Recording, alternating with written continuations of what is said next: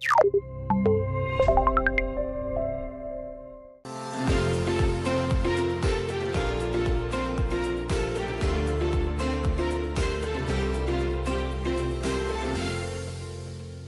kính chào quý vị khán giả, quý vị đang đến với bản tin thời tiết tối trên truyền hình Quốc hội Việt Nam. Thưa quý vị, ngày mai cơn bão Coi Nu sẽ vào Biển Đông và trở thành cơn bão số 4 năm nay. Các tỉnh thành phía Nam vẫn tiếp tục cảnh báo có mưa rông. Cụ thể, khoảng trưa chiều mai, bão Coi Nu sẽ đi vào tới Biển Đông. Dự báo là đường đi của bão Coi Nu sau khi vào tới Biển Đông, xác suất từ 70 tới 80%, bão sẽ di chuyển theo hướng Tây, men theo bờ biển của tỉnh Quảng Đông Trung Quốc và suy yếu dần, ít ảnh hưởng đến đất liền của nước ta.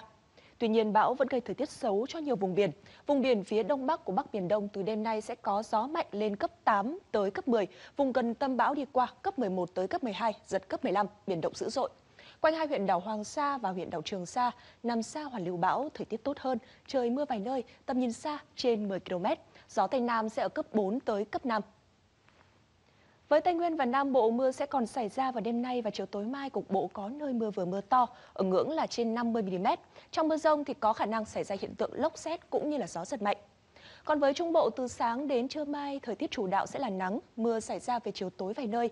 Nhiệt độ từ Thanh Hóa trở vào cho tới Phan Thiết trong khoảng là từ 32 cho tới 34 độ. Riêng với khu vực Quảng Nam trở vào cho tới Phú Yên, đêm nay và chiều tối mai sẽ có mưa rông, cục bộ có nơi mưa vừa mưa to. Trái lại thì với Bắc Bộ, ngày mai thời tiết sẽ tiếp tục có nắng mạnh. Với thủ đô Hà Nội, Hải Dương, Phủ Lý nhiệt độ lên ở ngưỡng nắng nóng là 35 độ. Các thành phố còn lại, ngưỡng nhiệt phổ biến sẽ từ 32 cho tới 34 độ, trời nóng từ 3 tới 4 tiếng giữa trưa.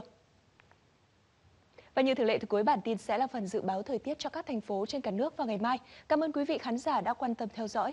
Còn bây giờ thì xin kính chào tạm biệt và hẹn gặp lại.